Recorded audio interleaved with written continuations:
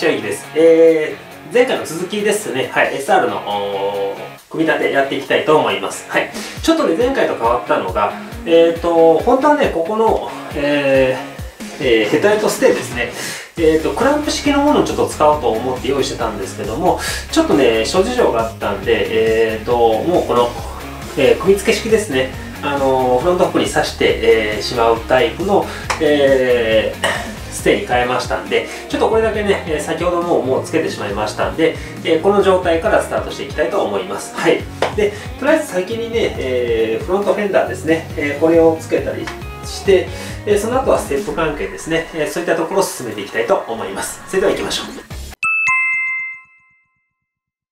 はい、えー、フロントフェンダーはアルミのねショートフェンダーを使っていきます。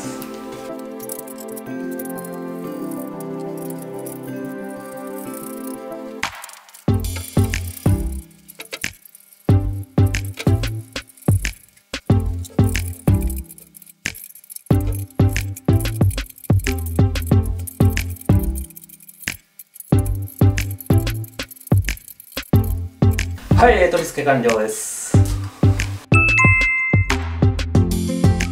はい、それではね、ステップの方をつけていきたいと思います。はい、使うステップがですね、はい、えー、コアさんの、えバックステップ、えー、これを使っていきます。はい、それではね、取り付けていきます。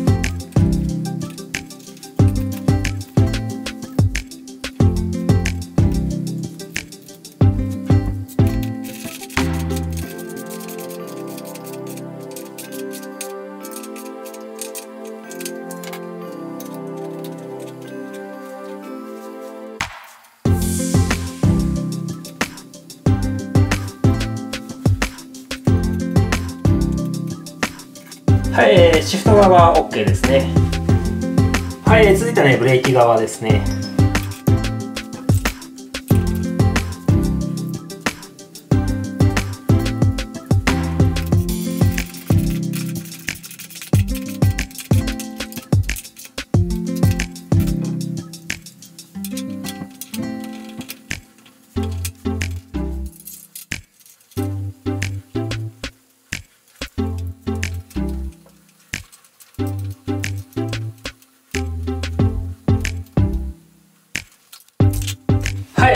ですねはい、それではね、えー、点火プラグの方をつけていきたいと思います。はい、まあ、いつ、どのタイミングでつけるかちょっと迷うんですけども、まあ、とりあえずもう今の段階でつけておきます。はい。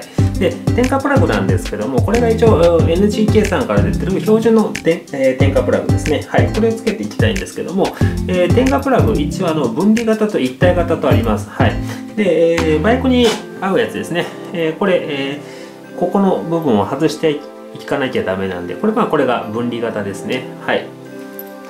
これではい外れますんで、えー、この状態でつけていきます。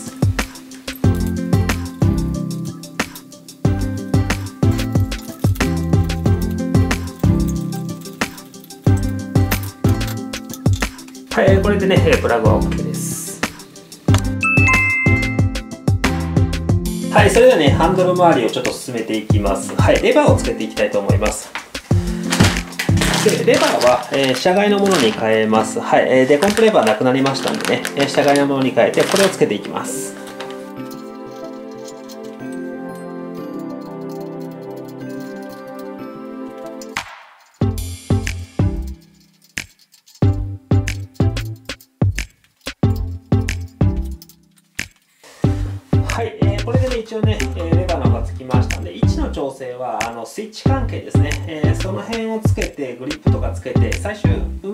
はしていきたいと思います。とりあえずねこれで置いていきます。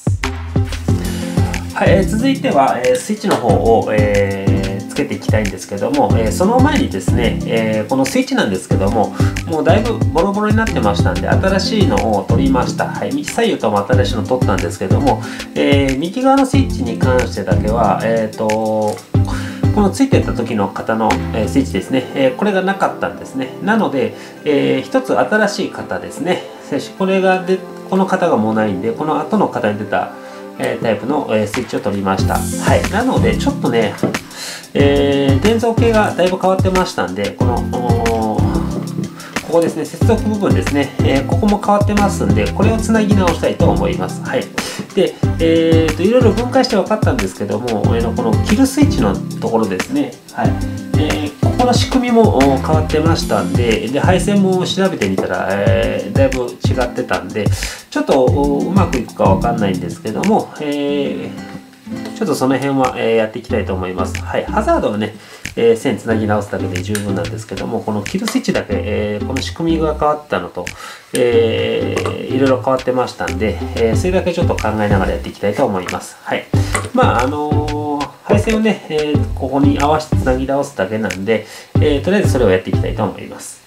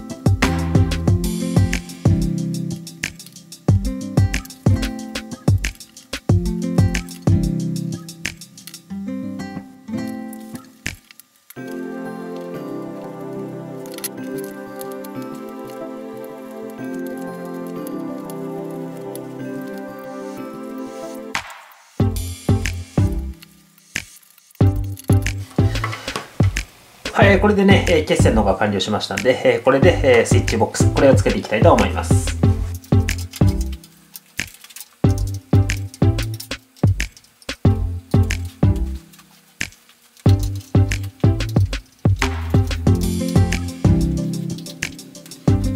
はい、これでね、ハンドルスイッチの方ですね、えー、両方とも、えー、新品に交換することができました。はい、続いてはですね、えー、ウィンカーの方をつけていきたいと思います。はい、それではね、えウィンカーをつけていきます。はい、つける前にですね、はい、えー、ステですね、はい、このアルミのステをつけていきます。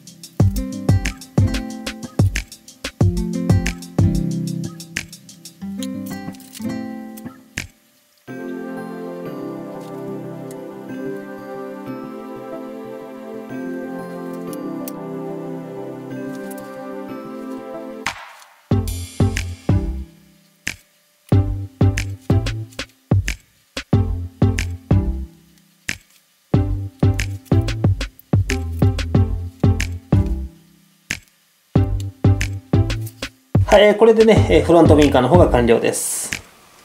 はい、続いてはね、え、メーターの方をつけていきたいと思います。はい。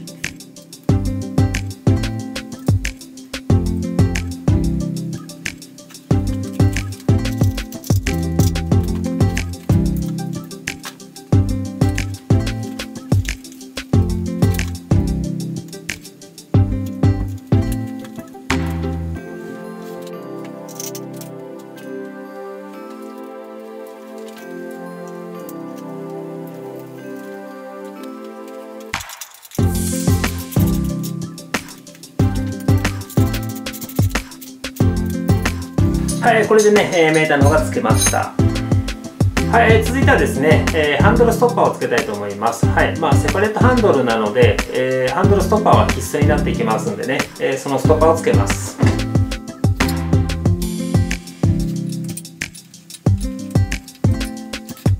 はい、えー、ついでにですね、えー、ホーンもつけておきます。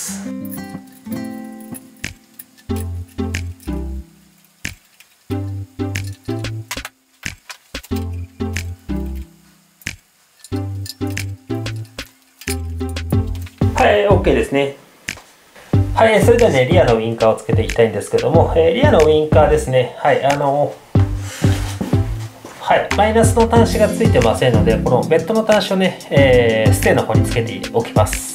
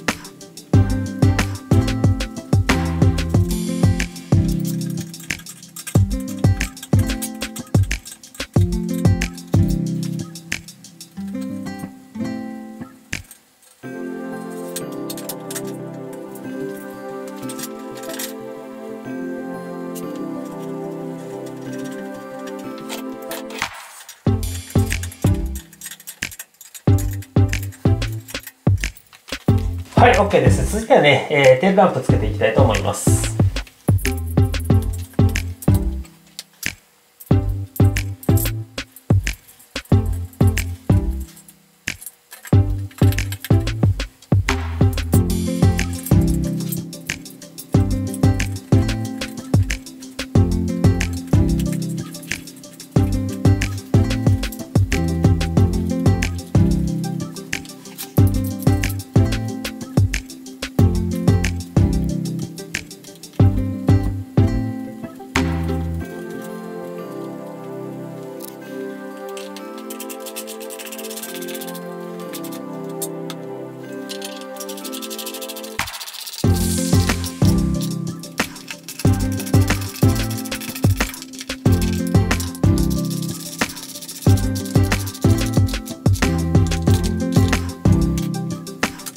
これでね、テールランプもつきました。はい、えー、ウインカーですね、えー、プラスの方だけね、えー、端子がないんで、ギボシ端子つけていき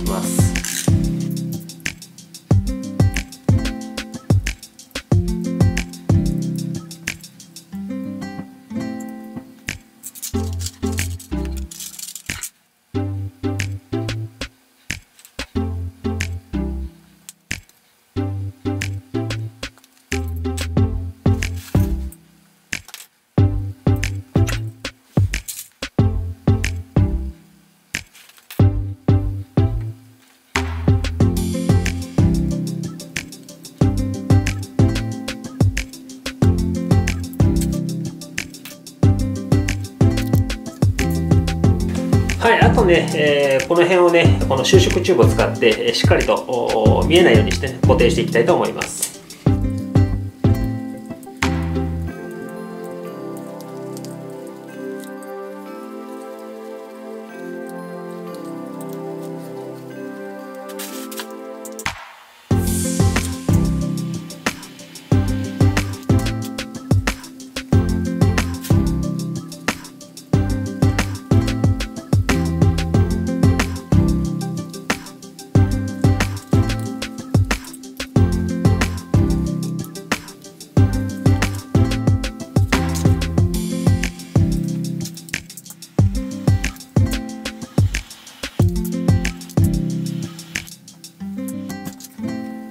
はい。これで OK ですね。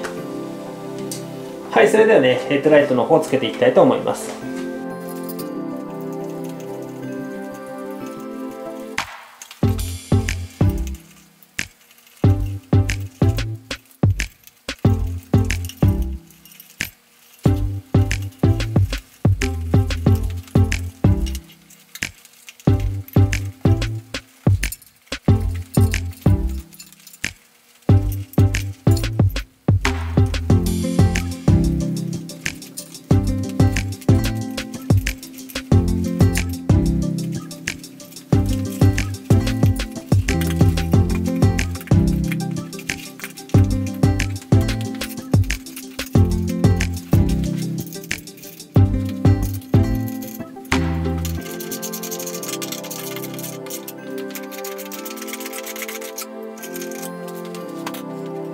はい、とりあえずね、えー、ケースの方をつけて、えー、この配線ですね、えー、これをつないでいきます。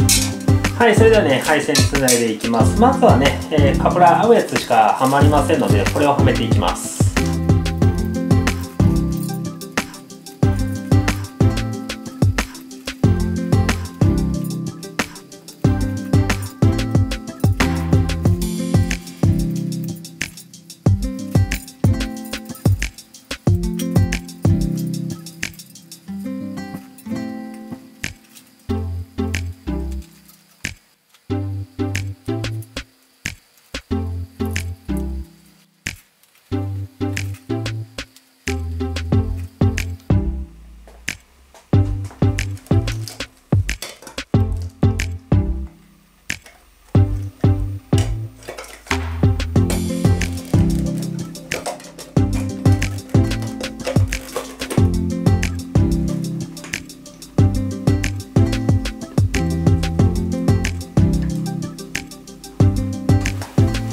はいこれで完成ですここはね。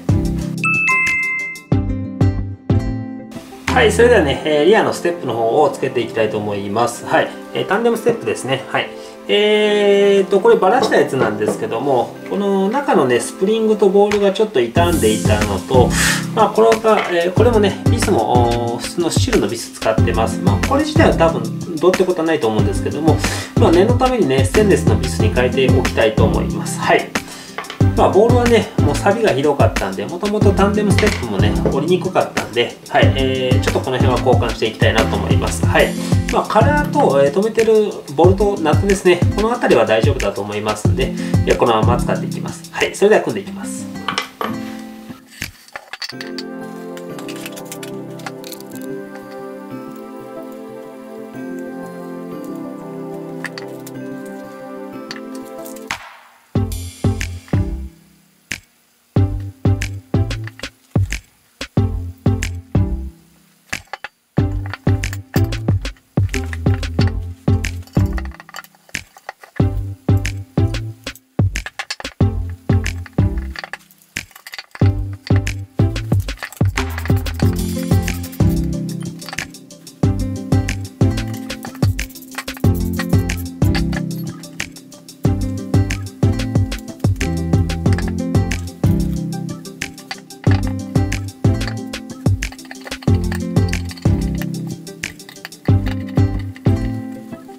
でこっち側は終わりですね。続いて反対側いきます。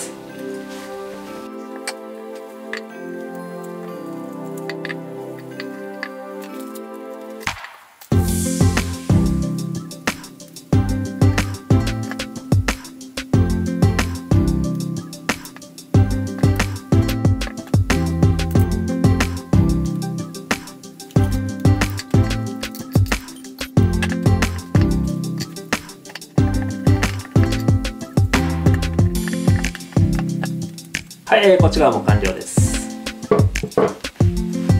はいそれではねステップつけていきます。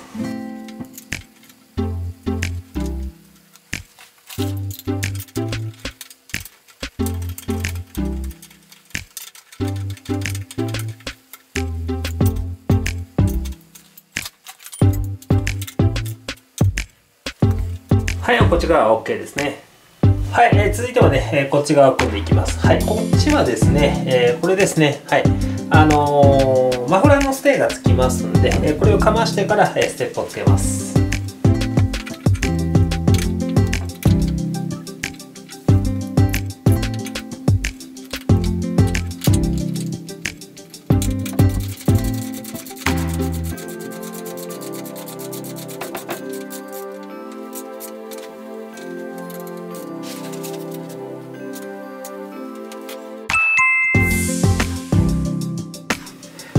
てはですね、えエンジンガードをつけていきたいと思います。はい、その前に、えこれですね、オイルライン、えこれを締めておきます。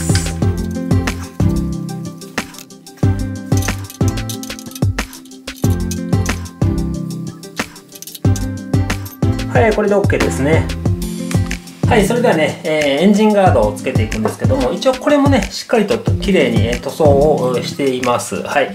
で、もともとついていた取り付けるためのこのグロメットというやつですね。これがもうボロボロになってましたんで、これは、はい、新しく、えー、取ってあります。はい。それと、えー、この外周の縁ですね。はい。縁ももう、えー、ボロボロに、えやれていましたんで、えこれもね、はい、え新品取ってますんで、えこれをね、新しいものに、え付け替えていきたいと思います。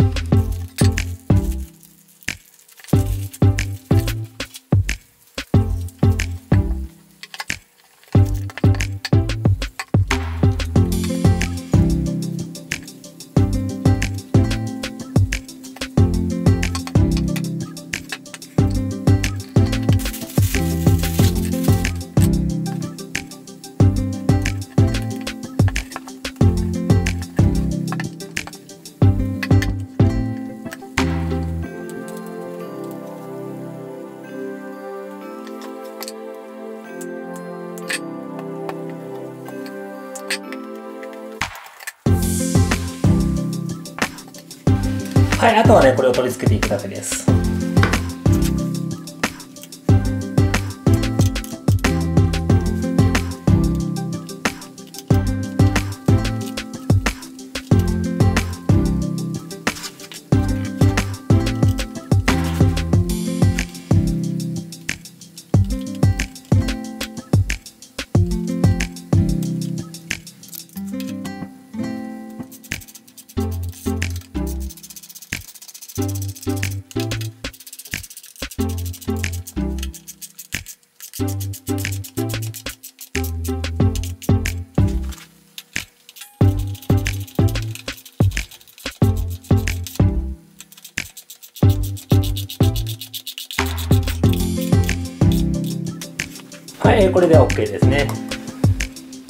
はい、ついでにですね、このドレーンボルト、これももう閉めてしまっておきます。はい、間にはね、この銅のワッシャーをかましていきます。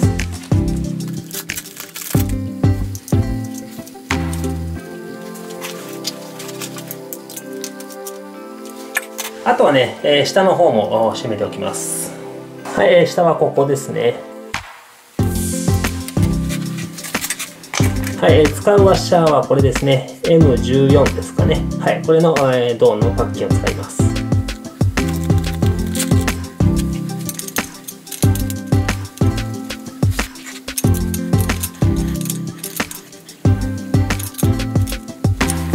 はいこれで OK です。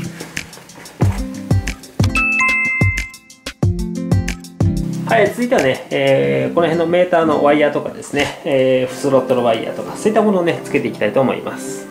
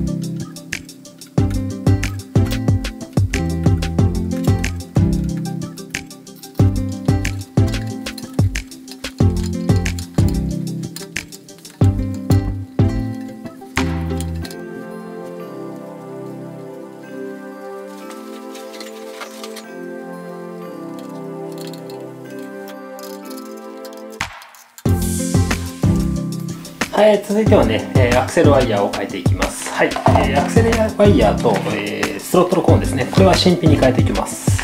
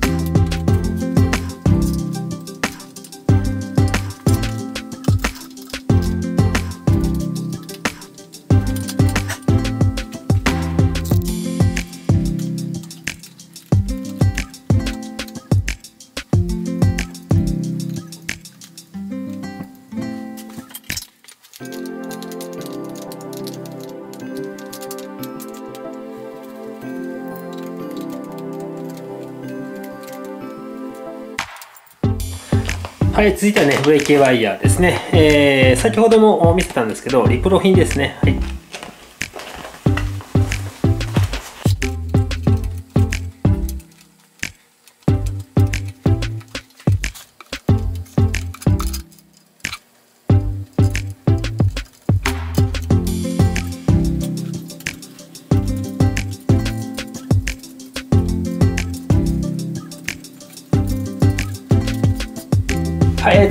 ね、えクラッチケーブルですね、えこれも貼っていきます。これも新品のものを取ってます。